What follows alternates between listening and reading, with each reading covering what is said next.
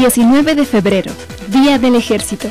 Desde el surgimiento de las primeras formas de comunidades humanas, existió la necesidad de defenderse, por lo que el hombre ha tenido que organizarse para llevar a cabo la función tanto defensiva como la de ataque en contra de grupos hostiles.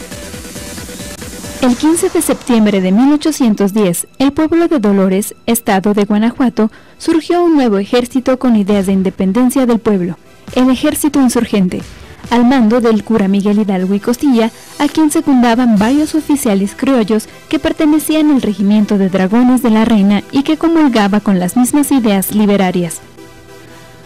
En la lucha por obtener la independencia del dominio español, los ejércitos combatientes se fusionaron para formar el ejército trigarante, el cual hizo su entrada triunfal en la Ciudad de México el 27 de septiembre de 1821.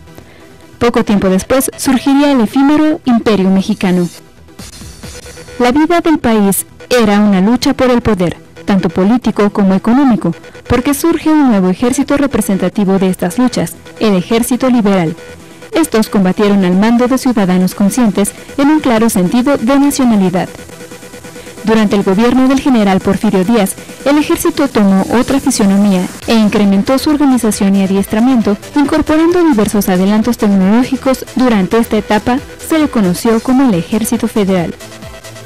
Pese al auge económico del país, gran parte de la población se encontraba sumida en la miseria, lo cual, aunado a otras condiciones sociales, motivó un levantamiento armado iniciándose de esta forma la Revolución Mexicana encabezada por don Francisco I. Madero.